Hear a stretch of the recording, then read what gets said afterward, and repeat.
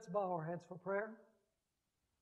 Father in heaven, we gather once again to study your holy word, the sure word of prophecy for these last days. And Father, we ask that as we open that word, that the Holy Spirit will be with us to guide our thoughts. Our ways are not your ways, and your ways are not our ways. That's the reason why, in order to understand you, we need special revelation. And so we ask for your presence. And we thank you for hearing our prayer, for we ask it in Jesus' name. Amen. The Holy Spirit had fallen on the day of Pentecost. And the Christian movement was growing and extending like a grass fire. In fact, in Acts chapter 6 and verse 7, we find a description of the fact that many members and priests were leaving Judaism and they were joining the Christian movement. It says there, then the word of God spread, and the number of the disciples multiplied greatly in Jerusalem, and a great many of the priests were obedient to the faith. In other words, clergy and laity were being converted to Christianity. The Bible tells us that one of the reasons for this phenomenal growth was the work of Stephen, who was one of the seven deacons. In Acts chapter 6 and verse 8, we're told that Stephen was instrumental in the growth of the church. It says there, and Stephen, full of faith and power, did great wonders and signs among the people. So fast was the Christian movement growing that Judaism was greatly disturbed. In fact, there was one particular person who was very disturbed. It was a young man who was a very promising prospect for Judaism. It appeared like he had a brilliant future. He was young, energetic, and relentless. His name was Saul of Tarsus. Now, Saul had tunnel vision. He believed that God had chosen the Jewish nation unconditionally and irrevocably, and woe to whoever questioned that fact. You see, for Saul of Tarsus, the preservation of Judaism was number one on his list. Judaism had to be preserved at all costs.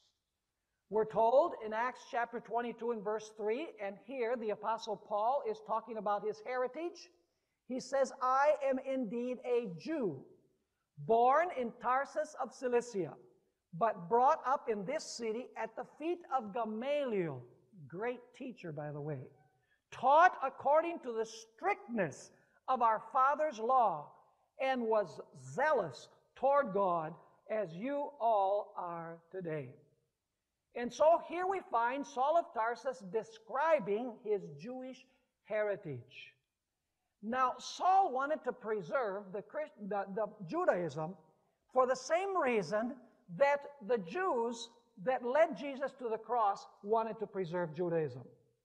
In fact, in John chapter 11, in verses 47 through 50, we find uh, the high priest, Caiaphas, speaking before the Sanhedrin, and he was explaining why they needed to do away with Christ.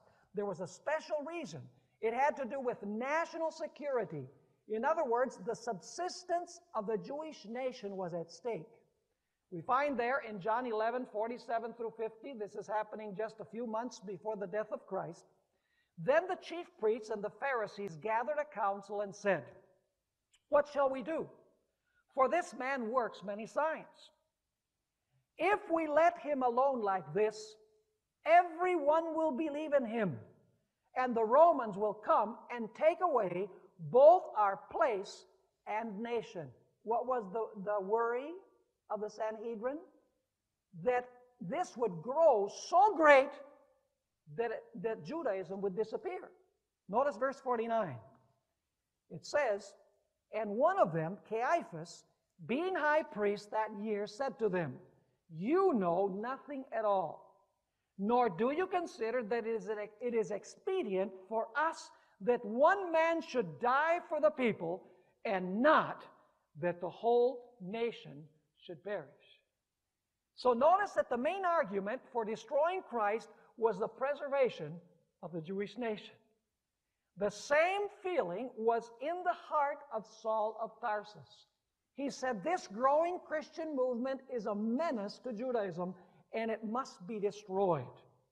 In Acts chapter 26 and verses 9 through 11, we find a description of Saul of Tarsus, the persecutor of the church. It says there in Acts 26, verses 9 through 11, Paul is reminiscing about his previous life. Indeed, I myself thought I must do many things contrary to the name of Jesus of Nazareth. This I also did in Jerusalem, and many of the saints I shut up in prison, having received authority from the chief priests. And when they were put to death, I cast my vote against them. And I punished them often in every synagogue, and compelled them to blaspheme. And being exceedingly enraged against them, I persecuted them even to foreign cities. So Saul of Tarsus had the same spirit as the Sanhedrin. In his mind, the preservation of Judaism was uppermost in his mind. And this is the reason why Saul of Tarsus was so intent on destroying not only Christianity, but particularly Stephen, who was one of those who was leading to the phenomenal growth of Christianity. In fact, we find in Acts chapter 7 and verses 57 and 58 that when Stephen was being stoned, Saul of Tarsus was present there. It says, Then they cried out with a loud voice, stopped their ears, and ran at him with one accord. And they cast him out of the city and stoned him. And the witnesses laid down their clothes at the feet of a young man named Saul.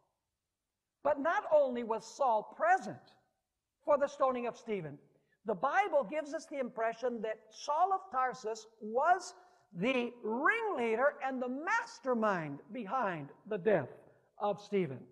We're told in Acts chapter 22 and verse 20, and when the blood of your martyr, this is Saul speaking, or Paul at this point, and when the blood of your martyr, Stephen, was shed, I also was standing by, consenting to his death and guarding the clothes of those who were killing him. So we find Saul of Tarsus actively involved and planning the death of Stephen because he was one of the instruments in the growth of the Christian movement. Now we find that after the stoning of Stephen, Saul of Tarsus decided to go on an expedition to hunt down Christians in the city of Damascus. In fact, he would have had to travel a long ways because Jerusalem is a very long way from Damascus. You have to cross all of Israel to the northern border. You have to go across Lebanon and into Syria. We find a description of this persecution in Acts 9 and verses 1 and 2. We're told there, then Saul, still breathing threats and murder against the disciples of the Lord, went to the high priest and asked letters from him to the synagogue of Damascus, so that if he found any who were of the way, that's the name of the Christian movement, whether men or women, he might bring them bound to Jerusalem. And so Saul of Tarsus was on the way to Damascus to arrest Christians and to take them to Jerusalem to stand trial and most likely to be killed. But it was on the road to Damascus that Saul of Tarsus had an experience that not only changed his life, but also changed his theology. On the road to Damascus, he had an encounter with Jesus Christ. He discovered that by persecuting the church, he was actually persecuting Jesus. Because he heard a voice that, from heaven that said, Saul, Saul, why do you persecute me? And he says, Who are you so that I know who I am persecuting? And Jesus says, I am Jesus of Nazareth, whom you are persecuting. In other words, by persecuting my body, you are persecuting me. Let's read about this in Acts chapter 9 and verses 3 through 6. As he journeyed, he came near Damascus, and suddenly a light shone around him from heaven. Then he fell to the ground and heard a voice saying to him, Saul, Saul, why are you persecuting me? And he said, Who are you, Lord? Then the Lord said, I am Jesus, whom you are persecuting. It is hard for you to kick against the goads. That means that he was kicking against his conscience. Verse 6 So he, trembling and astonished, said, Lord, what do you want me to do? The Bible says that he was sent to a man called Ananias. And Ananias met Saul of Tarsus in the house of an individual called Judas. And I want you to notice how the story is picked up in Acts 22, verses 16 through 18. Here, Luke is telling the story of this experience on the road to Damascus. It says here, But the Lord said to him, that is to Ananias, Go. And the context indicates he was supposed to go to the house of Judas. But the Lord said to him, Go, for he, that is Saul of Tarsus, is a chosen vessel of mine to bear my name before Gentiles, kings, and the children of Israel. For I will show him how many things he must suffer for my name's sake. And Ananias went his way and entered the house, and laying his hands on him, he said, Brother Saul, the Lord Jesus, who appeared to you on the road as you came, has sent me that you may receive your sight and be filled with the Holy Spirit. Immediately, there fell from his eyes something like scales, and he received his sight at once, and he arose and was baptized. Now, listen, he not only received his physical eyesight, the scales that fell from his eyes were the scales of prejudice. He now saw that God's people were those who received Jesus Christ as Savior and Lord. Now, in Galatians chapter 3 and verses 26 and 27, we find a very important concept. It says there, all those who have been baptized into Christ have put on Christ. Now we know that Saul of Tarsus was baptized. So whom did Saul of Tarsus put on? He put on Jesus Christ. Now there's another important concept. In Galatians chapter 3 and verse 15 and verse 16, we find that the Apostle Paul says that the promises were made to Abraham and to his seed. And there, the, uh, the Apostle Paul, who's writing later on after his conversion, says that the text does not say to seeds as to many, but to your seed who is Christ. In other words, the seed of Abraham is one solitary person, and that solitary person is whom? Jesus Christ. Jesus is the seed of Abraham. But now I want you to notice that those who are in Christ through baptism, like Saul of Tarsus, now become Abraham's seed through Jesus. Notice Galatians chapter 3, Galatians chapter 3 and verse 29. It says, If you are Christ's, then you are Abraham's seed and heirs according to the promise. What does it mean to be Abraham's seed? Does it mean to have Jewish blood in your veins? No. Does it mean that you live in Israel? No. Does it mean that your last name is Goldberg? Absolutely not. It says here that those who are in Christ are what? Are Abraham's seed. If you are Christ, you are Abraham's seed. Which means that if you are not Christ's, you are not Abraham's seed. That's a very, very important concept that we're going to pursue. So when Saul of Tarsus was baptized, he was baptized into Christ. He was incorporated into Christ. And through Christ, he became Abraham's seed. He was not Abraham's seed before joining Jesus Christ. Now, this experience on the road to Damascus totally changed the focus of Saul of Tarsus. Notice Acts chapter 9 and verse 22. Acts chapter 9 and verse 22. Here it says, But Saul increased all the more in strength and confounded the Jews who dwelt in Damascus, proving that this Jesus is what? The Christ. What does the word Christ mean? It means the Messiah. In other words, now the purpose of Saul of Tarsus was to prove that Jesus Christ was what? Was the Messiah. Now, later on in the book of Philippians, the Apostle Paul describes his conversion experience and his change of focus, his change of theology. Notice Philippians chapter 3 and verses 3 through 11.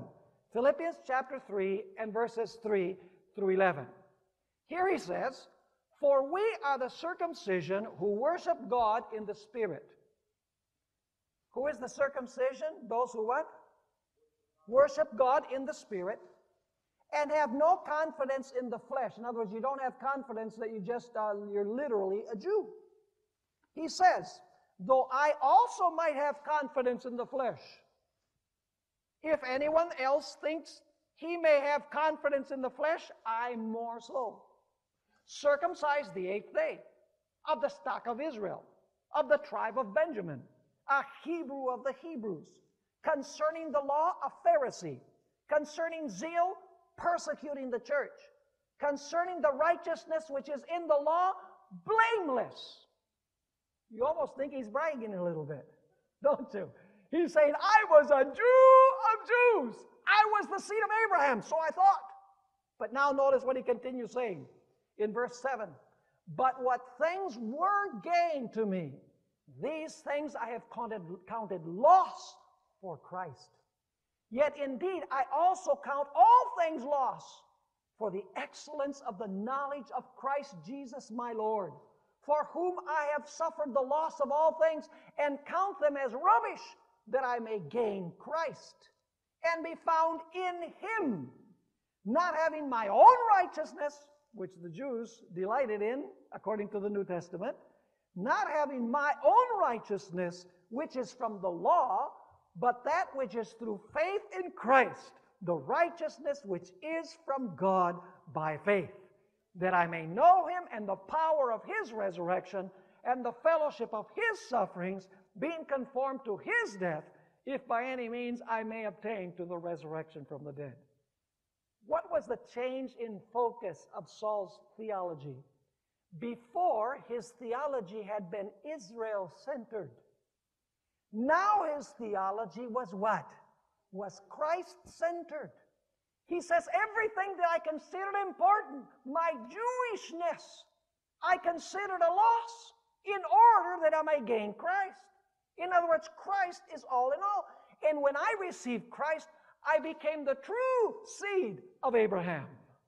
And you know, the Bible tells us that the Apostle Paul fell in love with Christ so much that he was willing to suffer intensely for accepting him. Notice 1 Corinthians chapter 11 and verses 22 through 28, where, where the Apostle Paul describes all of the sufferings that, that came about because of his acceptance and preaching of Christ. He says, Are they Hebrews? So am I. Are they Israelites? So am I. Are they the seed of Abraham? So am I. Are they ministers of Christ? And then he says, I speak as a fool. I am more. In labors more abundant.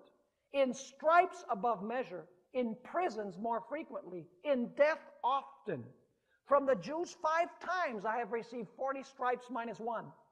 Three times I was beaten with rods. Once I was stoned. Three times I was shipwrecked. A night and a day I have been in the deep in journeys often in perils of waters, in perils of robbers, in perils of my country, my own countrymen, in perils of the Gentiles, in perils in the city, in perils in the wilderness, in perils in the sea, in perils among false brethren, in weariness and toil, in sleeplessness often, in hunger and thirst, in fastings often, in cold and nakedness, nakedness, besides the other things.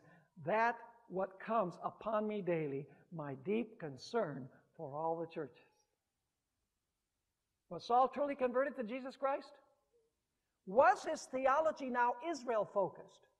Absolutely not. He said, Jewishness means nothing outside of Jesus. One is not a seed of Abraham simply by his bloodline. One is the seed of Abraham by being in Christ through baptism. Because if you are Christ's, then you are Abraham's seed. Which basically, so the Apostle Paul is saying that the Jews that had not accepted Christ were not the seed of Abraham. We're going to pursue that in a few moments. Now, the Bible tells us that not only Saul of Tarsus, but also all of the New Testament authors clearly tell us that God does not have two peoples, the Jews and the church, and that He has one plan for the Jews and He has another plan for the church. That is an idea that has come up in the last 150 years in the Christian world that God has one plan for the church, which is going to be taken away to heaven seven years uh, before the tribulation, and uh, they're going to go to heaven. And then the Jews are going to be left behind. They're going to reestablish the sacrifices, and they're going to suffer terrible tribulation. The Bible teaches, and especially the Apostle Paul, that God has only one true people, and that people are defined by their acceptance or rejection of Jesus Christ as Savior and Lord. Now, I want you to notice, first of all, we're going to go through a list of things that show that God has only one people. John chapter 10 and verse 16. Here Jesus is speaking, and I want you to notice what he says. John chapter 10 and verse 16. Jesus says here, And other sheep I have which are not of this fold. What does he mean, this fold? What, what does he mean by this fold? He means the Jews, because he was sent to the lost sheep of the house of Israel. We already read that. So he says, I have other sheep which are not of this fold. Them also I must bring, and they will hear my voice. And there will be two flocks and one shepherd. Uh-uh. One flock and one what? One shepherd. Now, lest you're wondering whether he's talking about the Gentiles when he says that there are other sheep not of this fold, let's go to John chapter 11, verses 51 and 52. John chapter 11 and verses 51 and 52. After Caiaphas says that it's necessary for one man to die and that the nation doesn't perish, notice what we're told in John 11, verse 51. Now, this he did not say on his own authority, but being high priest that year, he prophesied that Jesus would die for that nation. Now, listen carefully. What nation is that? The Jewish nation. That he would die for the nation and now notice, and not for that nation only, but also that he would gather together in one the children of God who were scattered abroad. Was he only going to gather the Jews to himself? No, he was going to gather the Gentiles to himself as well. In other words, God doesn't have two folds, a Gentile fold and a Jewish fold. He says, I'm going to bring the Gentiles, and there's going to be one fold, and there's going to be one shepherd. The Bible also tells us that there is only one Israel, and that Israel is defined by your relationship to Jesus Christ. If you are Christ, you are Israel. If you are not Christ, you are not Israel, you are not a Jew. And you say, where does the Bible say that? Let's read from the Apostle Paul. Romans chapter 2 and verses 28 and 29. Romans 2, 28 and 29. Here the Apostle Paul says, For he is not a Jew who is one outwardly, so is it possible for a Jew to be one outwardly and not be a Jew? Of course. For he is not a Jew who is one out- outwardly, nor is circumcision that which is outward in the flesh. But he is a Jew who is one what? Inwardly. And circumcision is that of the what? Of the heart. In the spirit, not in the letter, because the Jews love the letter, but they didn't have the spirit, whose praise is not from men, but from God. Is it possible to be an outward Jew and not be a Jew? Absolutely, according to the Apostle Paul.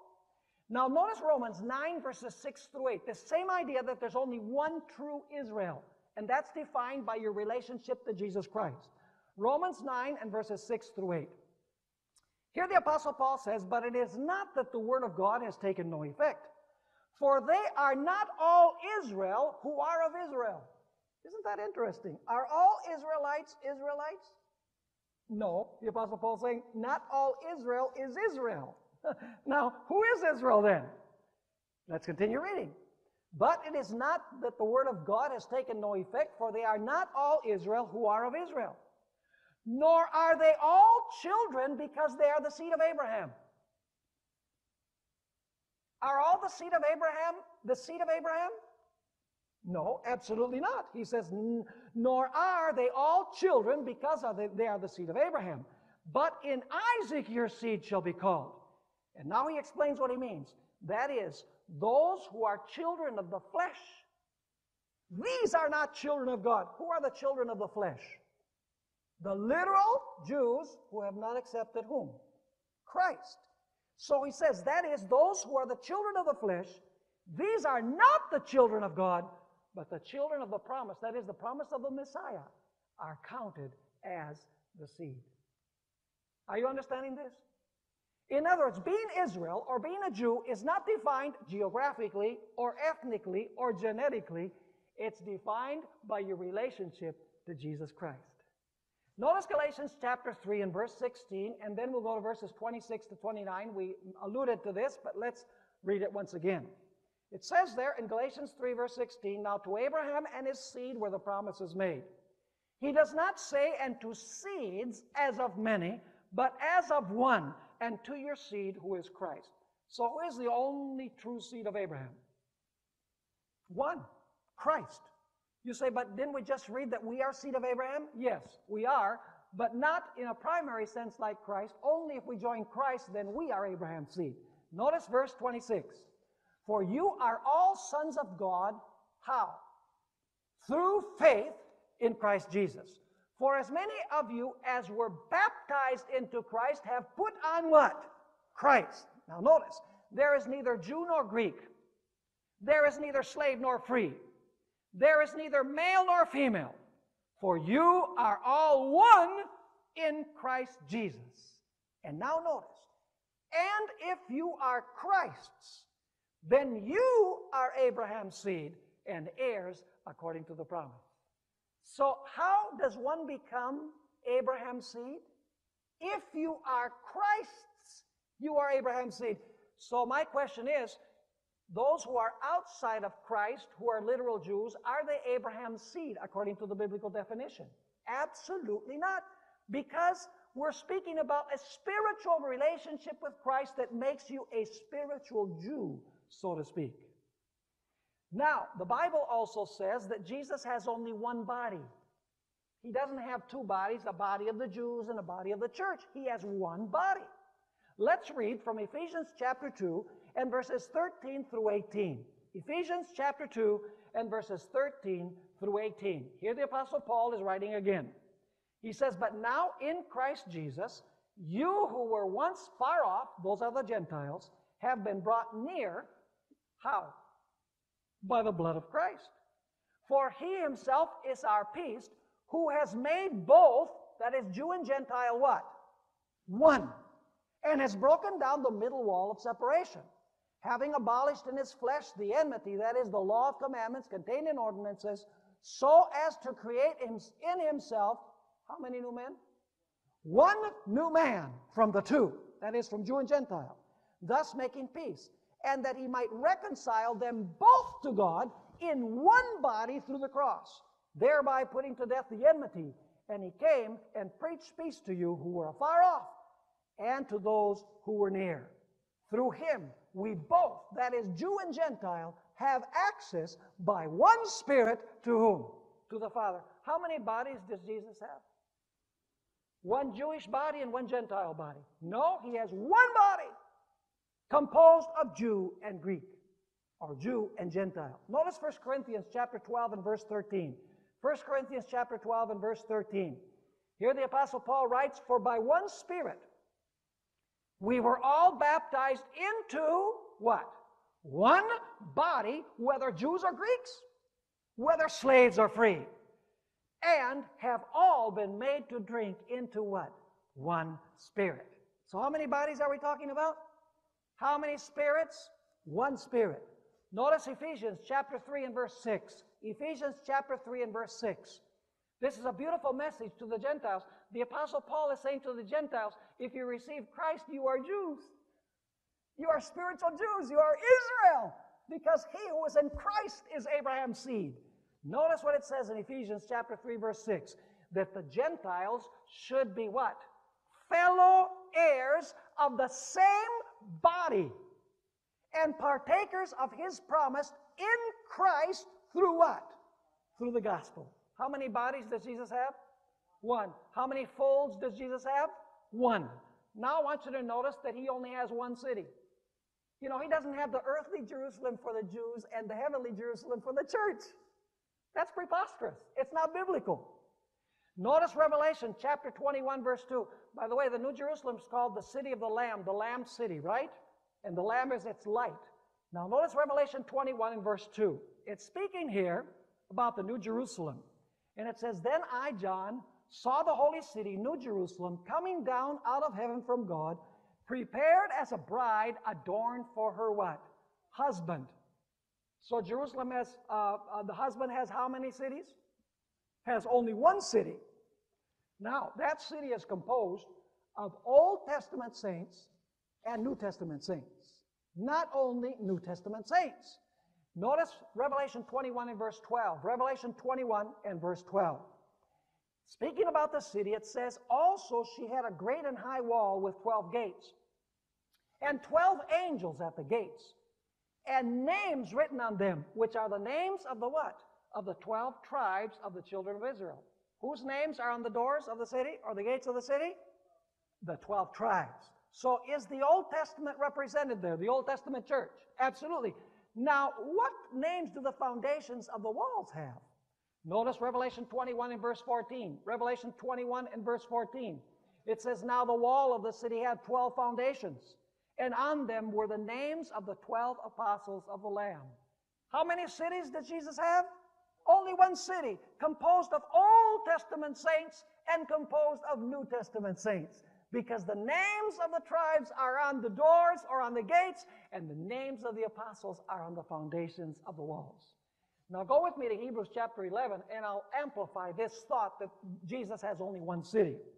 Notice Hebrews chapter 11, we'll read verses 9 and 10, and then we'll read verses 13 through 16. This is speaking about Abraham in the Old Testament. It says, By faith he dwelt in the land of promise, as in a foreign country dwelling in tents with Isaac and Jacob, the heirs with him of the same promise. For he waited. Now listen, this is Abraham. Was Abraham an Old Testament saint?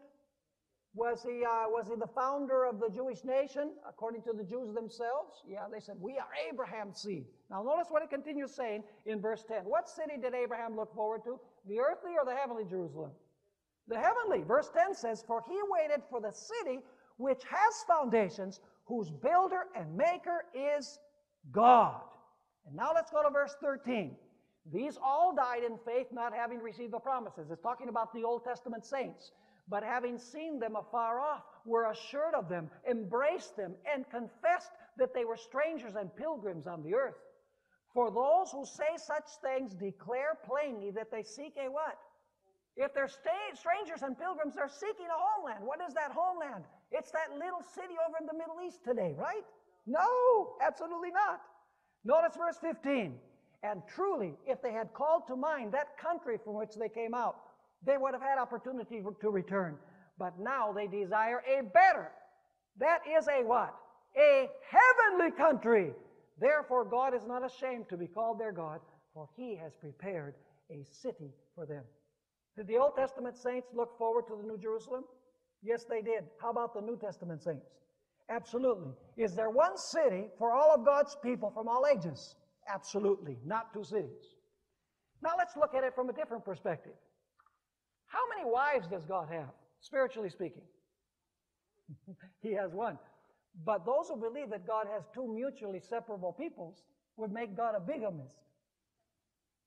Because he has the church and he's married with the church, but he's also married with Israel. And so he has two wives. The Bible doesn't sustain that. God has one bride, and it's the church of all ages, Old and New Testament. Let's notice that. Revelation chapter 12. Revelation chapter 12 and verses 1 and 2, and then we're going to jump to verse 5. It says there in verse 1 of Revelation 12 Now a great sign appeared in heaven, a woman clothed with the sun, with the moon under her feet, and on her head a garland of 12 stars. Then, being with child, she cried out in labor and in pain to give birth. Now, uh, what does this woman represent? We've already studied this. Represents the Old Testament church, right? Was Jesus born from uh, the line of Abraham and from the line of David? Absolutely. He was born from the Old Testament church. Who is the child? The child is Jesus Christ.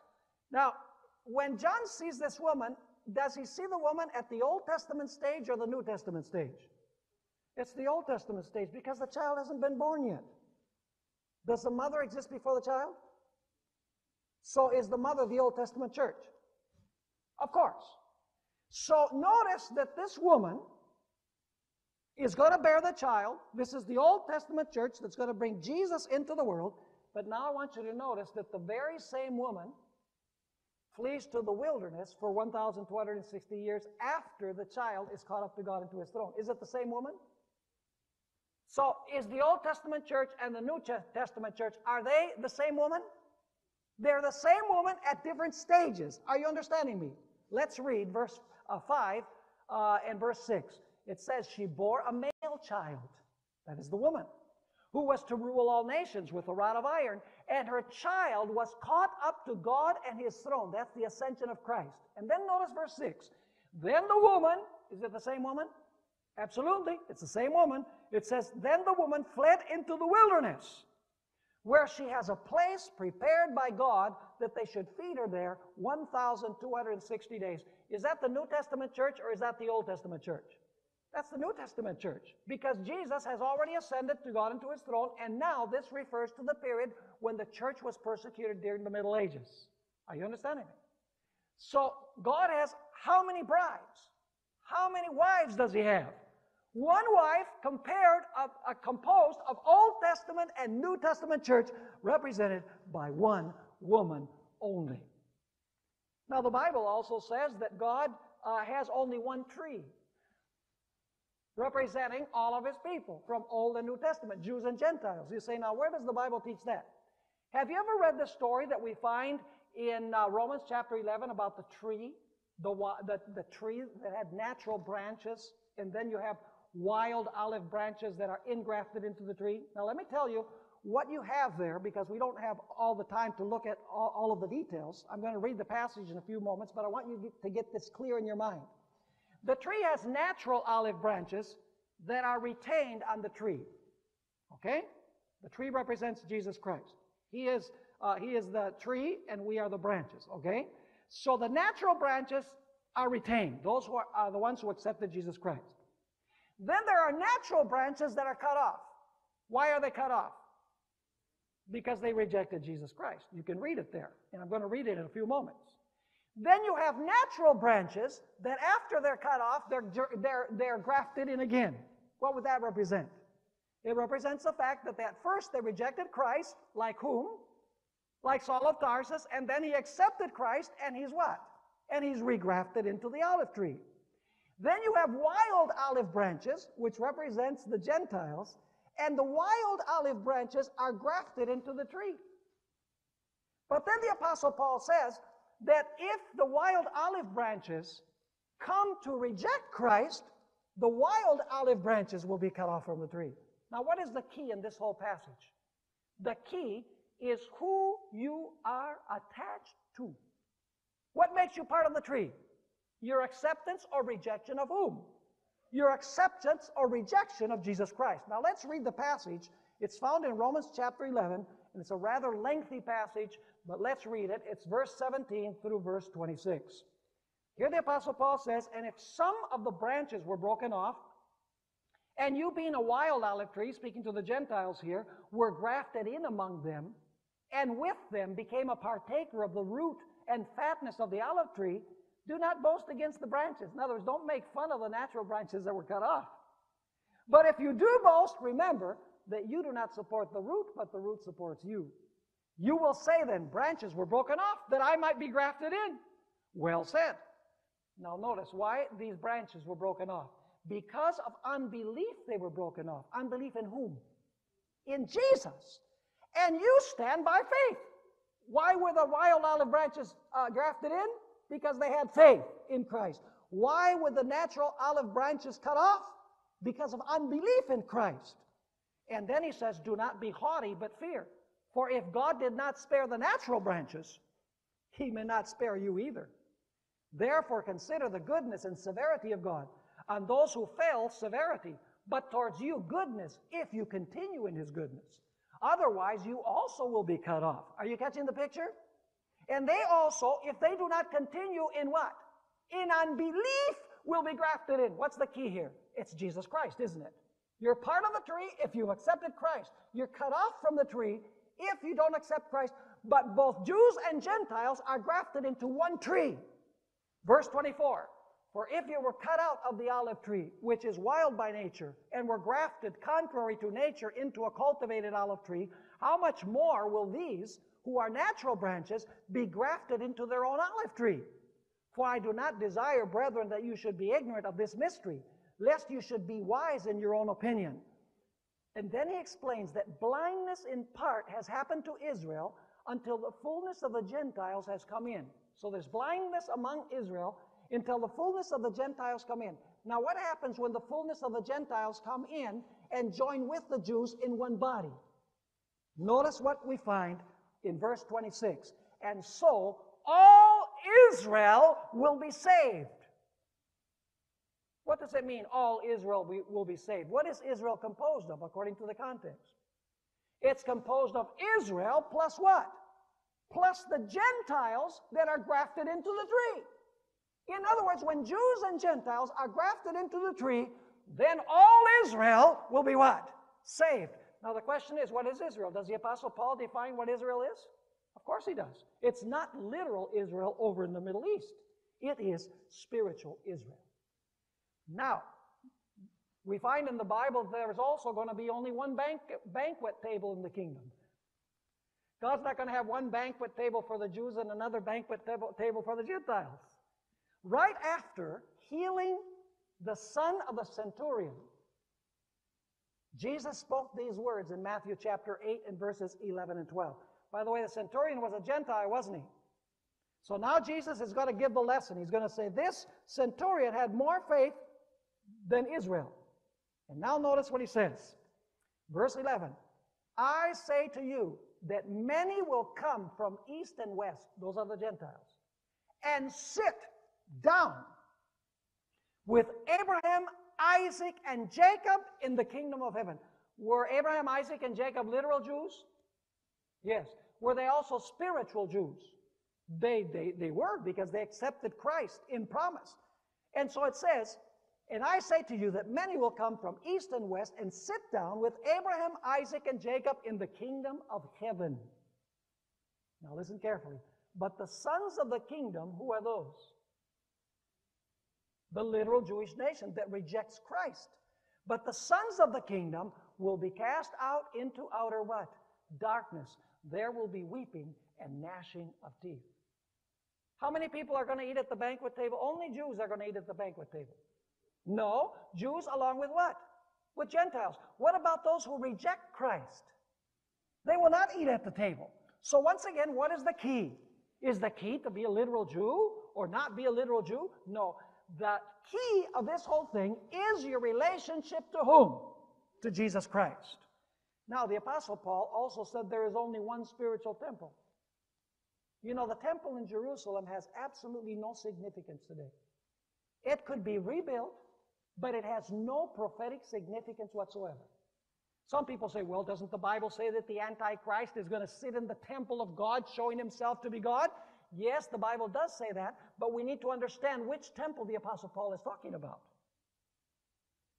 Most theologians take, take it for granted that he's talking about that temple over in the Middle East.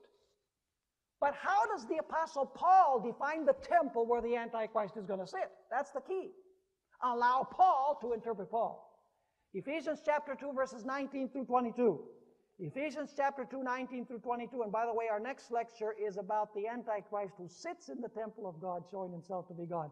This lecture today is preparatory to that one. We wouldn't be able to fully understand that lecture without this background that we're studying today. Ephesians 2 19 through 22. Now, therefore, the Apostle Paul says, You are no longer strangers and foreigners. He's speaking to the Gentiles, but fellow citizens with the saints and members of the household of God. Are they members of the same household? Absolutely. And now notice, having been built on the foundation of the apostles and prophets. The apostles would be New Testament and the prophets would be what?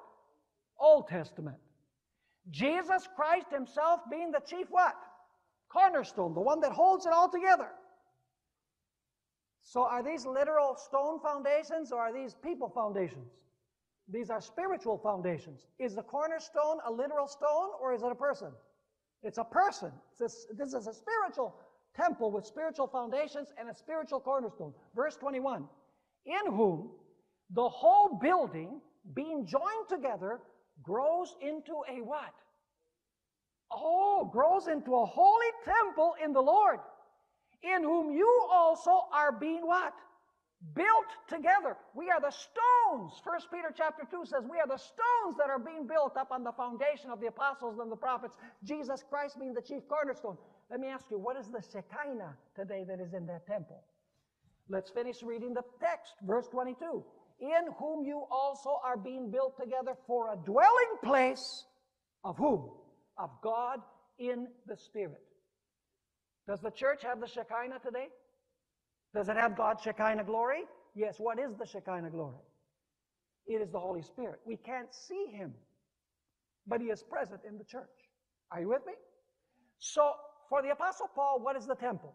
Is the temple the little literal building over in the Middle East that's going to be rebuilt and there's going to be a third temple? Absolutely not. For the Apostle Paul, the temple is what? Is the church. Built upon the, found, uh, the writings of the prophets and of the apostles, Jesus Christ being the chief cornerstone.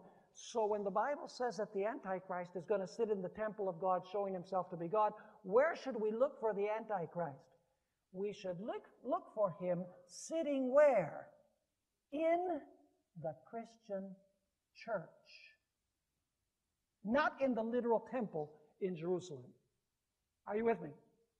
Now, the Bible also tells us that all of the redeemed will sing the same song literal and spiritual Israel. Notice what we find in Revelation chapter 15, verses 3 and 4.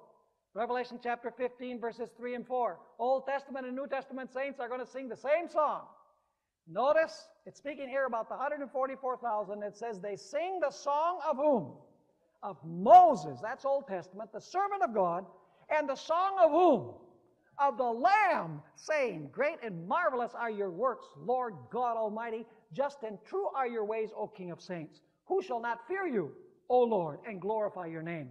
For you alone are holy, for all nations shall come and worship before you, for your judgments have been manifested. So, how many songs are going to be sung by the redeemed? There's going to be a New Testament song and there's going to be an Old Testament song. No, it's one song. The song of Moses, he was an Old Testament figure, and the song of whom? The song of the Lamb. That's a New Testament figure. In other words, all of the redeemed will sing one song. The Bible also says that all of us will have only one Father. Notice Galatians chapter 3 and verse 26. Galatians 3, verse 26. What defines whether we are sons of God or not?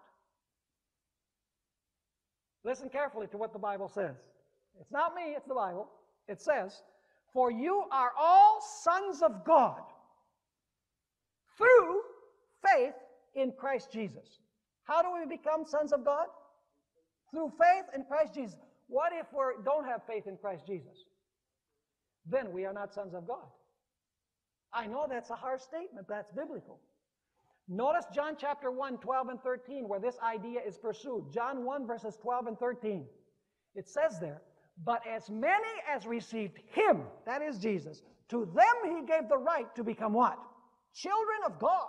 To those who believe in his name, who were not born, who were born not of blood, nor of the will of the flesh, nor the will of man, but of whom? God. So what makes you a child of God? Your physical birth or your spiritual birth? Your spiritual birth and the fact that you received Christ, because it says, as many as received Him, to them He gave the right to become the children of God. Now, listen to the way this works. The only true Son of God is Jesus Christ because he's the only faithful one. The Bible says that we are children of wrath. Jesus even went, went one step further. He says, You are of your father, the devil. Because we're born alienated from God, that we're conceived in sin, according to Scripture. And we have to be converted. We have to accept Christ, and then we're grafted into the family of God. Now, the only one who deserves to be called the Son of God is Jesus Christ. But when I receive Jesus Christ as my Savior, I become His brother. Or in the case of the women here, you become His sister.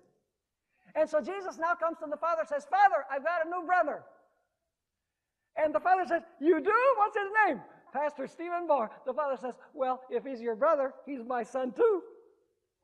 That's what Jesus meant when he said, I am the way, the truth, and the life. No man comes unto the Father but by me. So if you're a literal Jew, but you've rejected Jesus Christ, the biblical definition is that you're not a child of God. We're children of God by creation, but not by redemption. Now let's go to John chapter 8, verses 32 to 44. Here Jesus is having a conversation with the literal Jews, and this is very significant. It says here, And you shall know the truth, and the truth shall make you free. They answered him, We are Abraham's descendants. Really, it's Abraham's seed. It's the same identical word seed as in Galatians chapter 3. So they say, We are Abraham's seed and have never been in bondage to anyone. How can you say you will be made free? Jesus answered them, Most assuredly, I say to you, whoever commits sin is a slave of sin. And a slave does not abide in the house forever, but a son abides forever. Therefore, if the Son makes you free, you shall be free indeed. And then Jesus says, I know that you are Abraham's descendants. He's speaking physically now. You're going to see that. I know that you're literally Abraham's descendants, is what he's saying. But you seek to kill me because my word has no place in you. I speak what I have seen with my father. You do what you have seen with your father. He's not talking about Abraham here, folks. They answered and said to him, Abraham is our father. And he was their father physically speaking, but he wasn't really their father. Notice what it continues saying. They answered and said to him, Abraham is our father. Jesus said to them, If Abraham, if you were Abraham's children, which means that they're not. You would do the works of Abraham. But now you seek to kill me, a man who has told you the truth, which I heard from God. Abraham did not do this. You say you're Abraham's children, but you want to kill me. He would have embraced me. Now, notice what it continues saying. Verse 41 You do the deeds of your father. Then they said to him, We were not born of fornication. We have one Father, God. Verse 42 Jesus said to them, If God were your Father, which he's saying he isn't, if God were your father, you would love me. For I proceeded forth and came, came from God. Nor have I come of myself, but he sent me. Why do you not understand my speech? Because you are not able to listen to my word. And then notice what he says. These are solemn words. You are of your father, the devil. Who wanted Jesus dead? The devil. Did the Jewish nation want him dead too? Except for a few exceptions? Yes. So whose children were they? Jesus said, Abraham saw my day and rejoiced. If you were Abraham's children, you would be rejoicing, is what he's saying.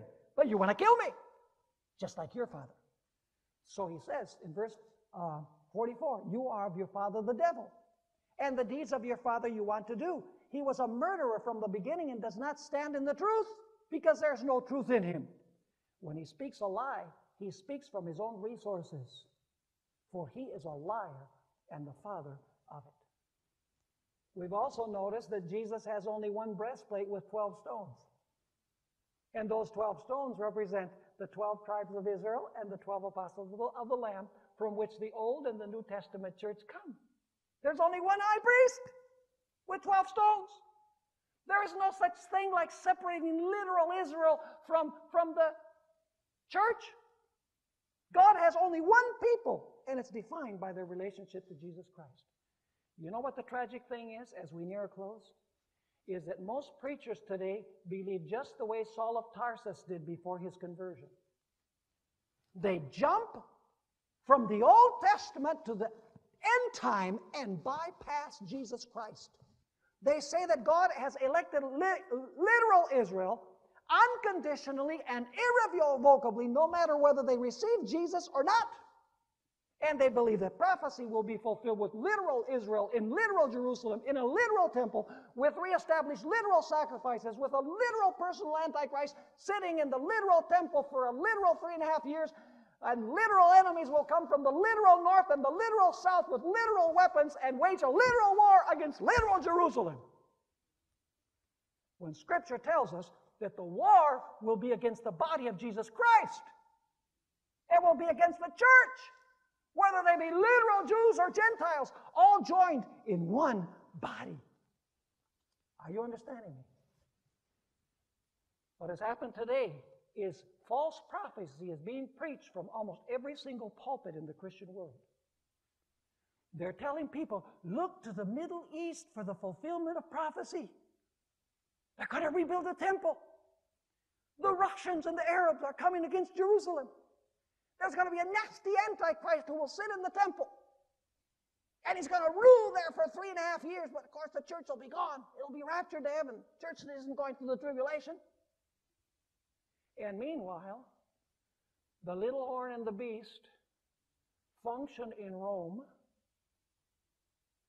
And the false prophet, as we will study, works in the United States, and nobody can see it because they're looking in the wrong place. Is this a serious matter? Listen, folks, the solution to the Jewish Palestinian problem is very simple.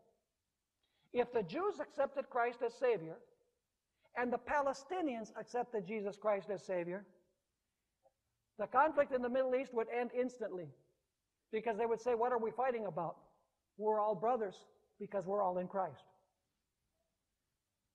Are you understanding what we study?